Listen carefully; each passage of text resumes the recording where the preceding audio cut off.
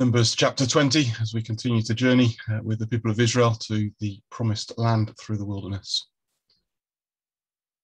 In the first month, the whole Israelite community arrived at the desert of Zin, and they stayed at Kadesh. There, Miriam died and was buried. Now, there was no water for the community, and the people gathered in opposition to Moses and Aaron. They quarreled with Moses and said, If only we had died when our brothers fell dead before the Lord. Why did you bring the Lord's community into this wilderness that we and our livestock should die here? Why did you bring us up out of Egypt to this terrible place? It has no corn or figs, grapevines or pomegranates, and there is no water to drink. Moses and Aaron went from the assembly to the entrance to the tent of meeting and fell face down, and the glory of the Lord appeared to them. The Lord said to Moses, Take the staff, and you and your brother Aaron gather the assembly together. Speak to that rock before their eyes, and it will pour out its water. You will bring water out of the rock for the community, so that they and their livestock can drink. So Moses took the staff from the Lord's presence, just as he had commanded him. He and Aaron gathered the assembly together in front of the rock, and Moses said to them, Listen, you rebels, must we bring you water out of this rock? Then Moses raised his arm and struck the rock twice with his staff. Water gushed out and the community and their livestock drank. The Lord said to Moses and Aaron, Because you did not trust in me enough to honor me as holy in the sight of the Israelites, you will not bring this community into the land I give them. These were the waters of Meribah, where the Israelites quarreled with the Lord, and where he was proved holy among them. Moses sent messengers from Kadesh to the king of Edom, saying, This is what your brother Israel says. You know about all the hardships that have come on us our ancestors went down into Egypt and we lived there many years. The Egyptians ill treated us and our ancestors. But when we cried out to the Lord, he heard our cry and sent an angel and brought us up out of Egypt. Now we are here at Kadesh, a town on the edge of your territory. Please let us pass through your country. We will not go through any field or vineyard or drink water from any well.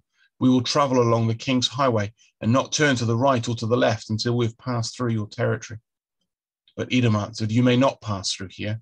If you try, we will march out and attack you with the sword. The Israelites replied, We will go along the main road, and if we or our livestock drink any of your water, we will pay for it. We only want to pass through on foot, nothing else. Again they answered, You may not pass through.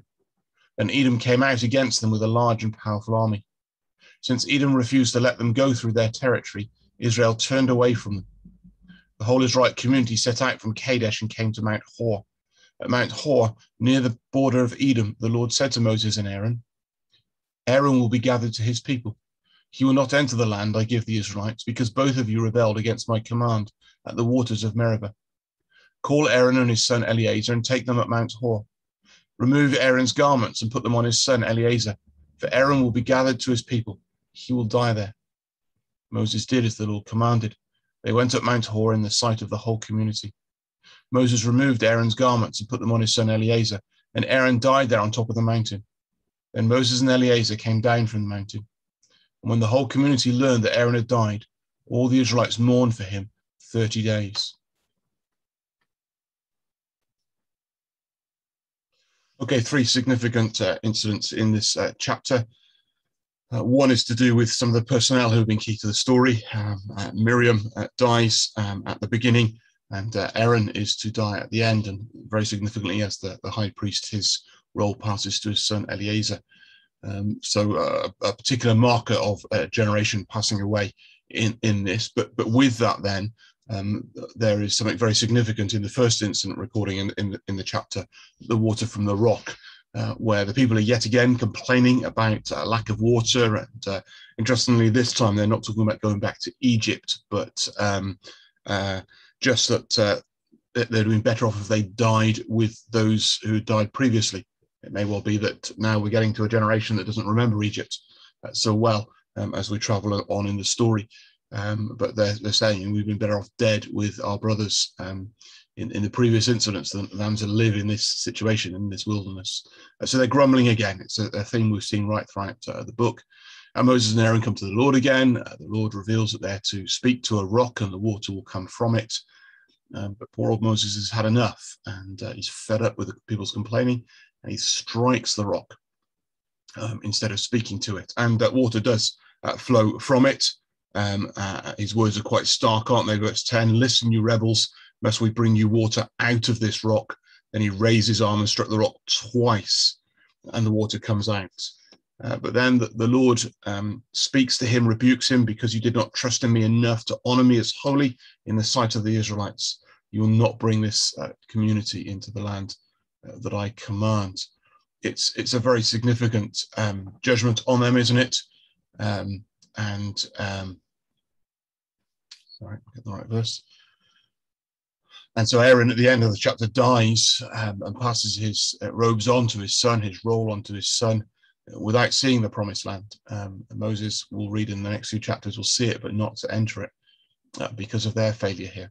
And, and I, I, think you'll agree we have a lot of sympathy for Moses and Aaron at this point. Um, they've done so well; they've they've led so faithfully. Well, certainly Moses has, um, and yet this this one little um, frustration, and uh, he is not able to to go in. But it reminds us of the, of the standard. The wages of sin is death. He sins here. He doesn't trust the Lord, um, and uh, um, the, the spiritual picture is we, we cannot enter then um, uh, all of us uh, um, are flawed. Uh, all of us fail. Even Moses, none of us deserve to be able to go into the promised land. It's only through uh, trust and faith in the Lord Jesus Christ and what he's done on our behalf. So, of course, Moses will be in glory. He appears on the Mount of Transfiguration uh, to uh, Jesus. But in this picture here, it's a it's a reminder that salvation is by grace alone, not by merit. None of us deserve uh, to go. Not even Moses, the greatest leader of God's people. Um, that's why Jesus is such a con- such strong contrast. He doesn't fail to trust uh, at any point. Um, the, the picture here as well is um, this is trust in, in Christ. Uh, 1 Corinthians 10 reminds us that um, uh, the people drank the spiritual water from the spiritual rock. Uh, this is a symbolic moment um, uh, of trust in the rock for water. Seems a strange thing to do, doesn't it? Um, but actually, it's a picture of, of, the spiritual rock that traveled with them, the Lord Jesus, and the water, the Holy Spirit that comes from him. And um, um, it's, a, it's, a, picture again for us that we need to be trusting in the rock to provide our needs day by day. Uh, and failure to trust um, is, is what excludes uh, from the promised land uh, ultimately um, because of our sin. And so let's let's press on today. Be careful in the grumbling, uh, thinking about trusting the Lord Jesus Christ. The other incident, uh, quickly in this passage, is, is uh, the request to pass through the land of Edom. Um, and Edom, uh, remember, this is uh, the descendants of Esau, Jacob's brother, so they are related as a people group. Uh, Edom refused to let them pass through. They're not they're not wanting to invade. They're, they're, not wanting to cause any trouble. They just want to pass through, and yet Edom refuses, um, and and this all will escalate over the coming centuries uh, between uh, these two people groups, and, and Edom will be judged for their hostility to God's people. Uh, but it's a reminder too that we will face hostility today, even perhaps from some that we think are closely related to us uh, for the gospel. Sometimes unreasonably so. Uh, people will refuse very very natural requests or make life difficult for us, um, and we need to recognise that that's part of following the Lord Jesus Christ. So let's fix our eyes on the rock. Let's uh, trust Him uh, for the spiritual uh, water that we need today, the Spirit to uh, give us life and to help us to walk in His ways. Let's keep trusting, um, even when we feel as though uh, the provisions are lean and life is difficult. Uh, let's go again for fresh from the water, fresh water from the rock. Um, and let's learn the lesson from Moses and Aaron here.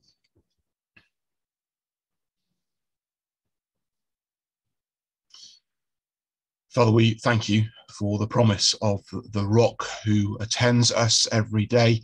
We thank you for our Saviour, the Lord Jesus Christ. We thank you that the risen Saviour has poured out his Spirit upon us, that living water, uh, which now wells up within those who are trusting in the Lord Jesus Christ. We pray, uh, Lord, as we perhaps find at times this life a wilderness and dry and barren spiritually, uh, that we would not be grumblers and complainers, but that we would come back to the rock um, seeking fresh supply uh, for our daily needs. We pray you to help us to trust in the Lord Jesus through the ups and downs of life in this broken uh, world. Grant us grace, we pray. And as we see Moses fall in what seems such a, a, a small incident compared with his faithfulness over many, many years, Father, we are reminded again of the uh, standards of, of glory, uh, that no sin uh, can uh, be allowed, uh, that the wages of sin is death, um, and it makes us uh, thankful again for the gospel of our Lord Jesus Christ, and that uh, He has paid the wages of sin um, and given us the gift of eternal life. Father, we pray that you would help us to rejoice in that and help us to rejoice too in the Lord Jesus Christ. As we see Moses, this great leader who falls in a small way, we look at other leaders that we know and love who are flawed and fail. Uh, we thank you for the Lord Jesus Christ who does not fail and is not flawed. We thank you that he is the perfect leader who will bring his people safely home. Thank you that he was able to lay down his life as a sacrifice for us because he was without sin. And we praise you for the Lord Jesus. Amen.